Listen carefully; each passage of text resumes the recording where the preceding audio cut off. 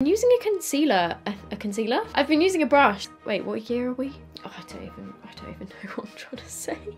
Shut up, Soph. It smells amazing. Is this background okay? Is my microphone on? Yes. Hi guys, um, let me know if this background is okay. Obviously my previous video was me completely transforming this room and redoing my filming room slash office and the majority of people that, oh, hello. I asked you guys to let me know in the comments on that previous video which background you preferred because at the very end of it I kind of flipped through about four different backgrounds I think. But a lot of you were saying that you liked the desk background. So I've got my desk here behind me.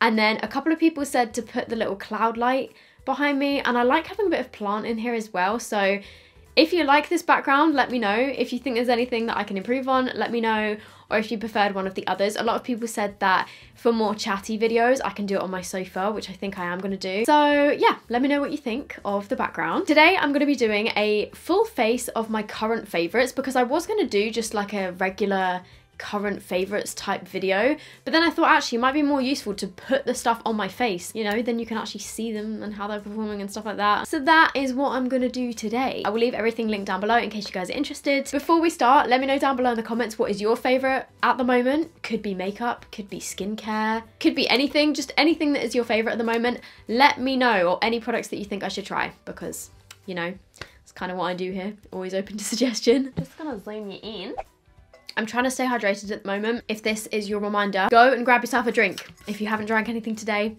do it. So the first product that I'm going to put on my face, I thought I may as well include this. It's actually a skincare product.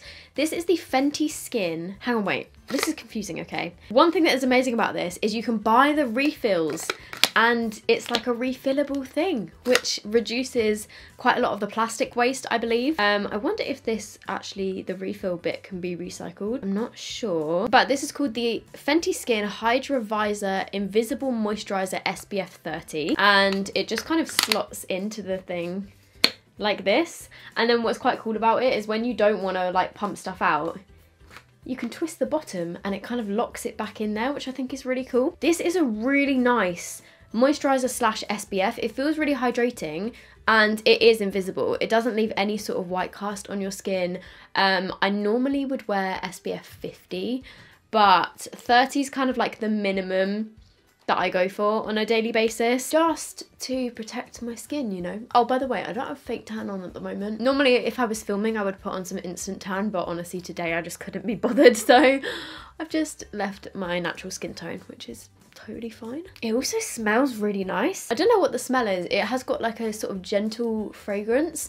Sometimes my skin can react to fragrances, but I don't find that this irritates my skin at all. So yeah, as you can see, it is quite a hydrating um, kind of product. It makes your skin look very glowy. But what I will always usually do with this is put some kind of primer on over the top of it just to make it a little bit, I don't know, what's the word? Like make my makeup last a little bit longer over the top of it. Oh, did I even put a primer in this thing? So, you idiot. So I am gonna prime my skin. This isn't necessarily like a new favorite primer. Um, It's just one that I quite like. I don't really have a particular favorite primer that I wanted to mention in this video because I am just trying to get through my primers and I kind of switch them up on a daily basis.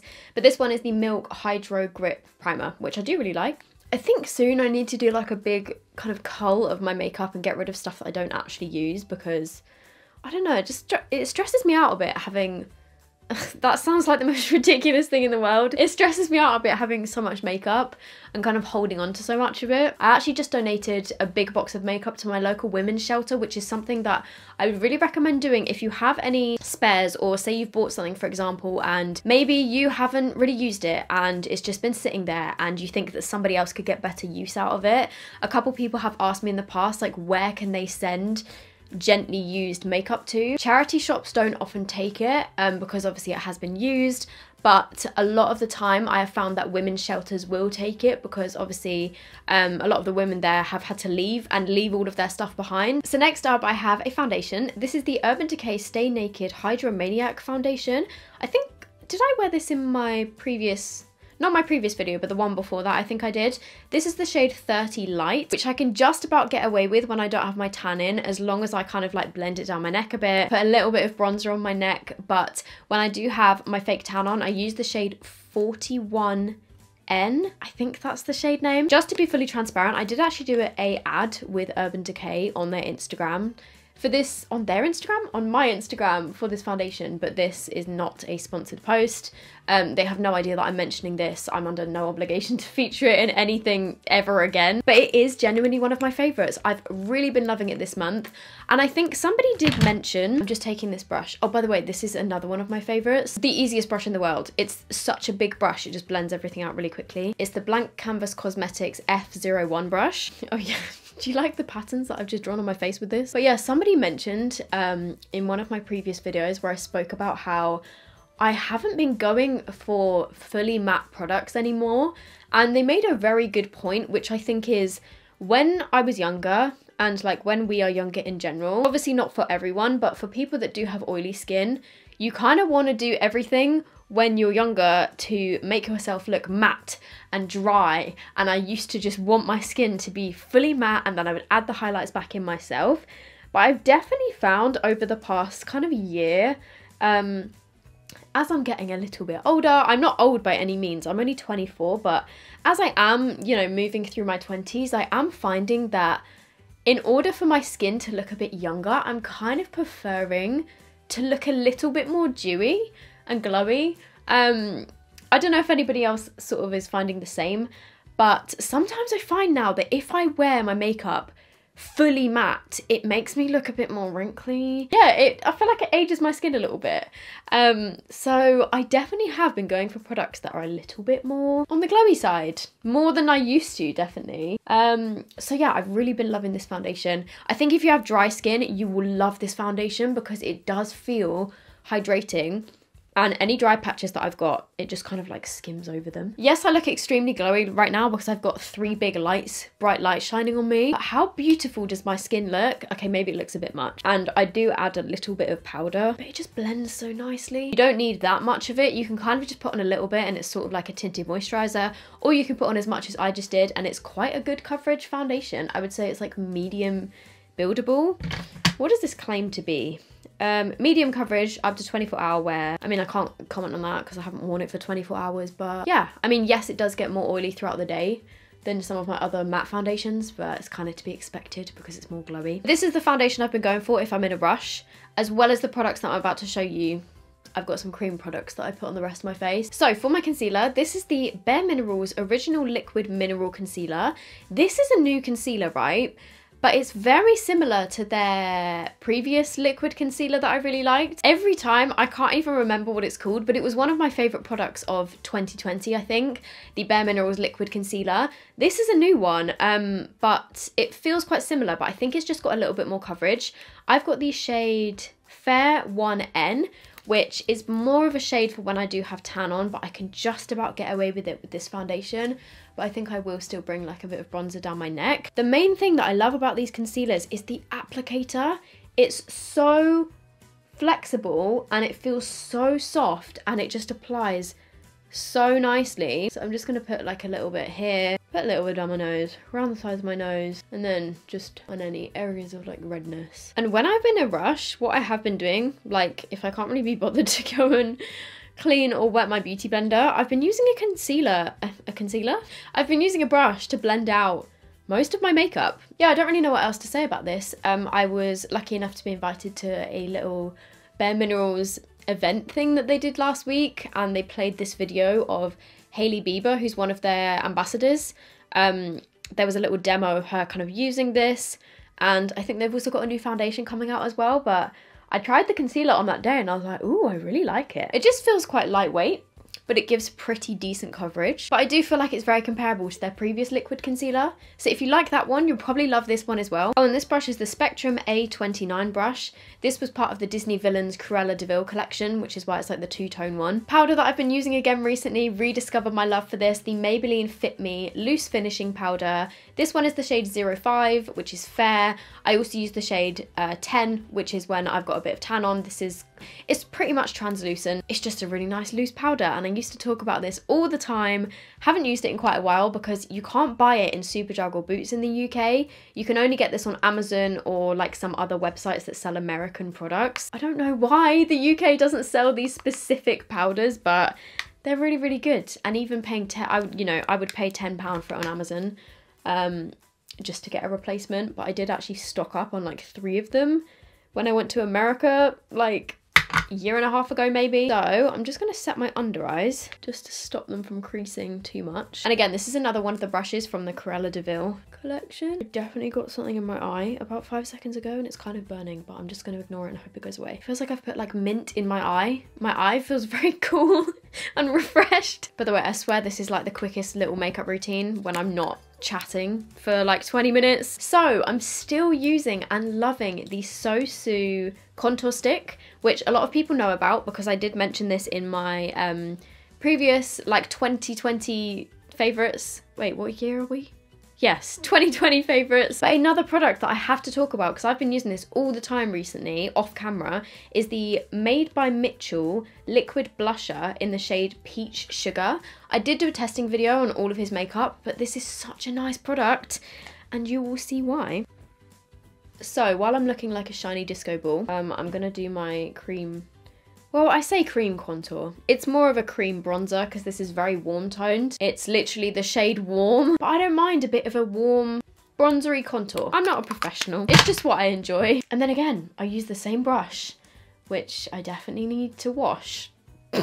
but um, yeah, I find that doing your cream products with the same brush that you used for your foundation kind of just blends everything together really nicely. The thing that I love about this cream bronzer is that it just blends so easily. Just kind of tap it and it just melts into your skin. Just definitely need some on my neck. I'll sort out my neck in a sec. Oh, that rhymes. For my nose, I'm using the Blank Canvas Cosmetics F12 brush, which is just like a little angled concealer brush. And it's just a good one to blend out cream nose products. Cream nose products? Oh, I don't even I don't even know what I'm trying to say. Also, please let me know down below how are you doing. Um, hopefully people are feeling a bit more positive since the UK government announced that from the 29th of March we're going to be able to meet up to six people outside. That includes in a garden, which I personally cannot bloody wait for. I cannot wait to see my friends in the garden, um, see my family in the garden, see my brother again. I'm so excited for that. Um, and it just gave me you know, a bit more hope and positivity. Let me know actually, like if you're from somewhere other than the UK, what are your rules with COVID at the moment? Because every country has its own different rules. Okay, so I'm then taking the blush, which does have a doe foot applicator, and I'm just gonna put a bit of this on my cheeks, tiny little bit on my nose. And again, just using, am I still filming? Yeah, just using the same brush to just kind of tap and blend it into my skin and it's such a pretty blush colour.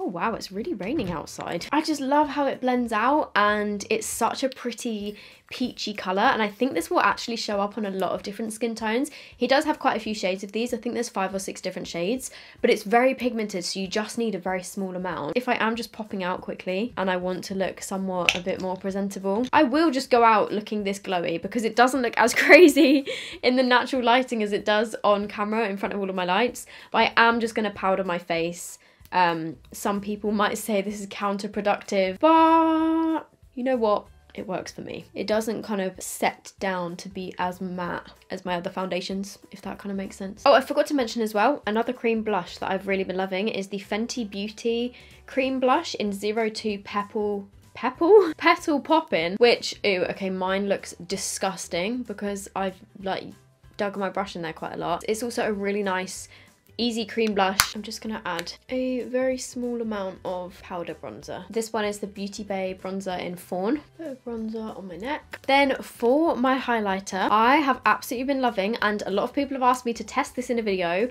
I don't need to test it on camera. Well, I mean, I'm going to show you it, obviously. Shut up, Soph. This is the Steph Toms and Ofra collaboration highlighter in the shade Milk and Cookies. Not only is this a stunning duo highlighter. It smells amazing. Steph sold out on Beauty Bay in the first like couple hours of this going on the website. I think it then sold out on Ofra's website, but they are restocking it. I've just got to say, Steph, if you're watching this, congratulations. I've already sent it to her. She's great. And this highlighter, honestly like could not I could not think of a more hardworking person that this could go to because she works so bloody hard. She has loved Ofra stuff for years and I'm so excited for her and it's such a gorgeous product. I really like as well how there's like two different tones in here. There's a slightly darker more bronzy tone, which is a bit too dark for me, um, but would be beautiful on more like medium and deeper skin tones. And then there's also the lighter shade or you can mix them together. Hopefully in the summer I can actually get down to Cornwall and maybe we could film like an in-person collab. But I'm just using the shade, I don't know if it's milk or cookies. Oh, I think it's the shade milk, the lighter one. Like, look at this. It's got this like amazing sort of vanilla scent and it's just beautiful like look. Oh by the way i do have a discount code for ofra's website. It is an affiliate code so if anybody's not comfortable with that that's totally fine you don't have to use it but my code is just soph and it gets you 20% off of ofra's website. Ofra highlighters like yes they're a little bit more on the pricey side but they're just so good and you need such a small amount of them like you don't need to rub your brush in there you literally just do this and even that is too much. Yeah, you need such a small amount. So yes, I haven't had this for very long because it only came out like, what, last week? Um, but I could tell straight away from when I put this on, it's just stunning. It's so beautiful. I just love it. Steph, well done. You've made a great one. On to my eyebrows, two products that I've been using quite a lot recently. Um, and I did actually mention this one in a video. This is the number seven Beautiful Eyebrows Tinted Gel in the shade Brown. And then also as well, the Bare Minerals Brow Master Sculpting Pencil. Looks like this. It's kind of like a narrow, let's see. Can you even tell the sort of shape of it? I don't really know if you can. And these products in combination are just really nice. I think the reason I keep going back to this one is because it's a really good shade for me. I do kind of wish the pencil was a little bit skinnier. It would be a little bit easier to work with, but I really like the colour and it goes on really easily. So I've been using it quite a lot. Oh, have I just made those eyebrows way too bold and scary looking? It's all good. I'm just going to take the spoolie and kind of like blend that out just a little bit. And then I'm going in with the number seven brow gel. The only thing is you do get quite a lot of product on here when it comes out, so you kind of have to make sure that you wipe off some of that excess. But again, I just think it's quite a nice colour for me. Also as well, if anybody has any Netflix recommendations, please let me know. My Netflix recommendations for you, if you're into like sort of drama, crime, what's the word? Crime investigation dramas. There's a really good one on Netflix called White House Farm, I think is what it's called. We ended up binge watching it in like a day. I think there's six episodes, they're 45 minutes long. It's really good. Um, and also as well, I've been watching RuPaul's Drag Race uh, the UK one and the US one and was absolutely heartbroken that there was not an episode last week of the US drag race on Netflix. The UK one is on BBC Three, BBC iPlayer. I hadn't really got into drag race before, but I'm now so into it and I've even got James into it as well. We absolutely love it. Then moving on to the eyes, something that I have been absolutely loving just in general, over the past few months since I discovered them, I think I first used a cake eyeliner or like a water activated eyeliner back in 2020 when Anastasia Beverly Hills launched their cake liners. And they are just such easy, colourful eyeliners. And now loads of different brands have brought them out. I've got the Anastasia ones, which are expensive, um, but they have some really cool like neon colours and stuff. The Makeup by Tammy ones are really nice as well. Good old Superdrug's Barry M have got the high vis water activated colours and I have used a couple of these in videos over the past few months. The frustrating thing with these is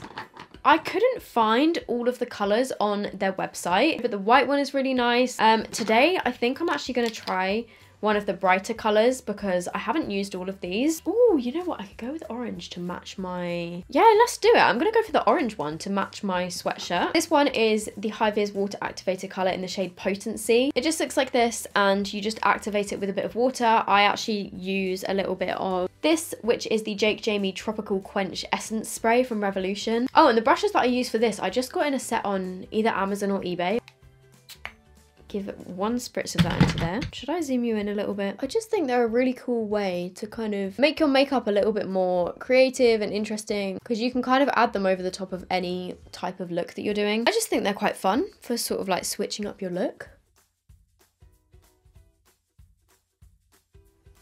and I've just brought that into my inner corners as well. There we go. Obviously, I've just got to wait for them to fully dry down. Then, before I do my lashes, I'm going to put on some mascara Mascara that I'm still absolutely loving, the Maybelline Sky High. With my mascaras again, it's one of those things where I have got so many open that I'm trying to use up different ones. Mostly on a daily basis, I will just open my mascara drawer and kind of pick whichever one I'm feeling that day. But this Maybelline Sky High has been a solid favourite since I tested it a couple weeks ago in a video. And then also actually as well, I did a ad with Maybelline on TikTok for this mascara but that was after I'd done my video. So I filmed that video and uploaded it, tried it for you guys. And then they got in touch and were like, do you want to do a TikTok with us? And I was like, uh, yes. Maybe I won't even put eyelashes on today. I'll see how I'm feeling in a minute. I'm just gonna ignore the fact that I got it on my nose and I'll deal with that in a minute. Oh no! I've just noticed that where it hadn't like fully dried, it's transferred to my crease. This orange one is actually taking its time to dry. The white one dried really quickly, but this orange one is still kind of wet, which is a little bit concerning. Maybe I should add a little bit of loose powder to it or something. I kind of think I like this look without eyelashes actually. I don't think I necessarily need them because it's just quite simple, isn't it? For some reason, this orange eyeliner doesn't seem to be setting down, so I'm just setting it with a little bit of orange eyeshadow. Yeah, sorry about that, guys. That was just me, I guess, assuming that all of them would have the same formula. Or maybe I used a little bit too much liquid. Um, I don't actually know. That was really strange. Because the white one dries pretty matte. How bizarre. And then finally, some favourite products for my lips. This lip combination is so nice. It's the Body Shop Lip Definer. And I don't understand, why did the Body Shop not write the names of the lip liner anywhere on it. I'm not sure which shade this is, but I will leave it linked down below. The other lip product that I use on top of this is the NARS Velvet Lip Glide in the shade Swing. These Velvet Lip Glides I really hope are still available and I really hope that they weren't like limited edition or something. Let me actually just check. Okay, phew, they are still available. These are £23 and they come in a whole different like bunch of shades. This one is the shade Swing. The name Velvet Lip Glide just sums these up so perfectly because that is what it feels like on your lips. I'm just gonna go in with the lip liner first. And then I'm gonna go in with the NARS product. Not only does it smell amazing, it smells like vanilla and just like dessert. I just wanna eat it. The formula is just, let me put it on and then I'll explain it. Okay, I forget how much darker lip products look when I don't have any tan on. I feel like maybe with this orange eyeliner I would go for a lip that's a little bit lighter. But the formula of this is not like a gloss.